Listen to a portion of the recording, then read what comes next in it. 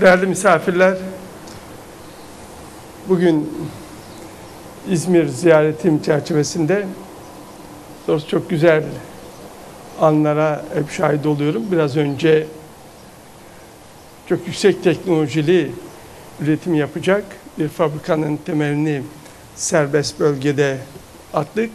Şimdi de Türkiye'nin en eski, en güçlü üniversitelerinden Ege Üniversitesi'nin bir kliniğinin, laboratuvarının e, açılışı vesilesiyle buradayız. Hepinize sevgiler ve muhabbetlerimi sunuyorum.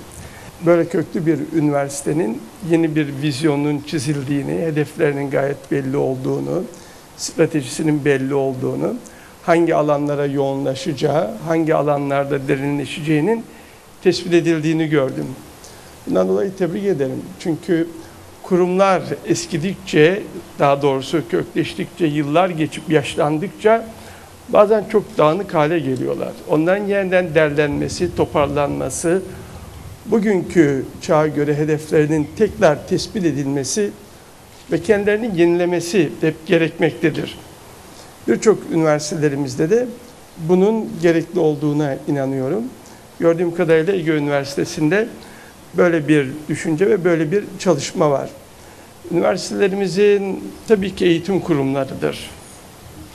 Ama üniversite bir lisede değildir. Üniversite eğitimin yanında araştırma yapan, geliştirme yapan, bilim üreten müesseselerdir. Bunları yaparken Türkiye gibi büyük bir ülkenin sadece başka ülkelerin geliştirdiği bilmi transfer eden, onları sadece ders kitaplarında okutan değil, bilme insanlığa katkıda bulan ve bilim üreten bir ülke haline gelmesine çok önem veriyorum. Yine aynı şekilde teknoloji transferi yerine teknoloji üreten bir ülke haline gelmesine çok önem veriyoruz. Bununla ilgili her vesileyle açıklamalarımı ve düşüncelerimi paylaşıyorum. Bunun içinde tabii ki kaynakların ona göre organize edilmesi, araştırma elemanlarının ona göre organize edilmesi, sevk edilmesi ve buna göre teşviklerin yapılması gerekmektedir. Bunlar yapıldığı süre içerisinde üniversiteler kendi içerisinde de bir yarışta öne çıkacaklardır ve ülkeye de en büyük katkıları olacaktır. Ege Üniversitesi gibi Türkiye'nin en eski üniversitelerinden tabii ki beklediğimde budur. Doğrusu e, Ege Üniversitesi ve e, İzmir Bornova deyince e, benim için birçok şey de ifade eder. Ailemden büyüklerim bu üniversitede hep hocalık yapmışlardır ve buraya ta çocukluğumda da Bornova'yı geldiğimde bilirdim. Bu yolları hatırlarım. İzmir'i tabii daha sonraki hep geldiğim dönemlerde hep bilirim. Ee, Ege Üniversitesi'nin e, ayrı bir yeri vardır açıkçası. Ben de böyle bir e, ayrı özel bir ilişki de söz konusudur. O bakımdan bu üniversiteyi gerçekten güçlü olarak görmek isterim.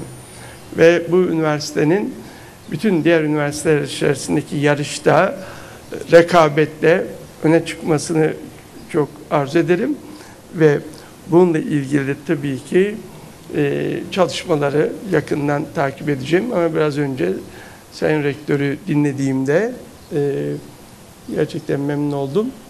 E, neye yöneleceklerini kararlaştırmış şekilde gördüm. Hangi konularda kümeleşeceğini bu üniversitenin mukayeseli üstünlüğünün nerede olacağını tespit etmiş şekilde gördüm. Ve buralarda başarılı olacağınıza inanıyorum. İzmir her bakımdan Türkiye'nin müstesna şehirlerinden birisidir. Türkiye'nin incisidir.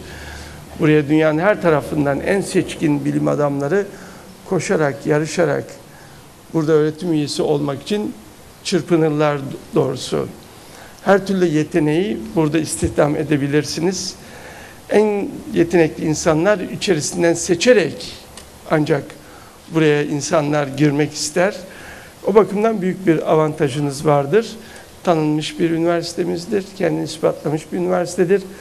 Bütün dallarda başarılı olmuştur. İnanıyorum ki bundan sonra çok başarılı olacaktır.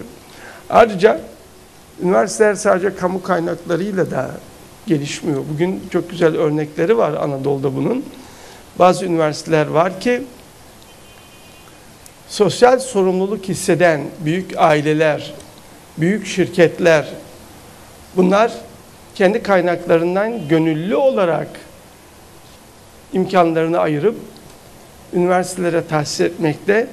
Üniversitelerde bazıları laboratuvar, bazıları fakülteler, bazıları ayrı araştırma bursları tahsis ederek büyük katkı sağlamaktadırlar. Bunun bir örneğini şimdi burada gördüm. Onun için Mahmut Bilgiç Bey'e hem teşekkür ederim hem tebrik ederim. Ailesine tabii ki tebrik ederim.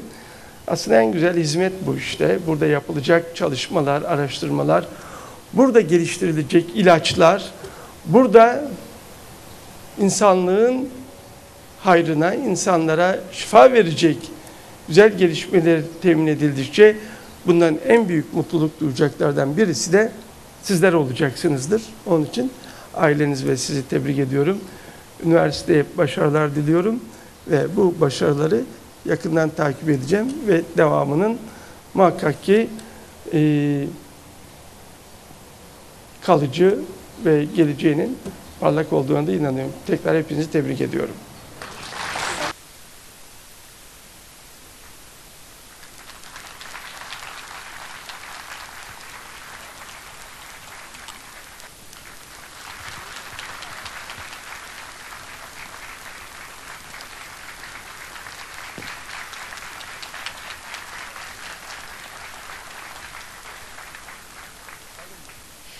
Değerli konuklar, Sayın Rektörümüz Sayın Cumhurbaşkanımıza şükranlarımızı sunmak üzere bugünün anısına Tarihi Ege Üniversitesi Rektörlük binasının rölyefini takdim ediyorlar.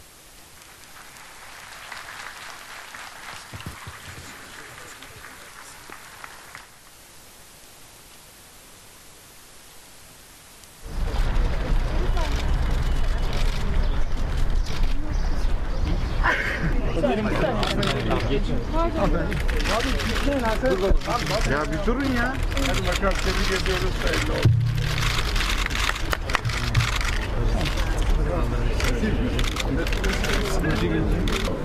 Koşulları burada hazır ve uluslararası standartlar asansörümüz hazır.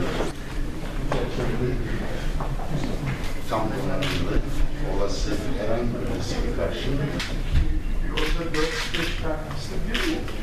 Şimdi efendim çalışmanın şekline göre protokol dediğimiz bir protokole göre aynı anda 15 hastaya yatabilir. Tedavi söz konusu değil. Burada yeni bir ilacın denenmesi söz konusu.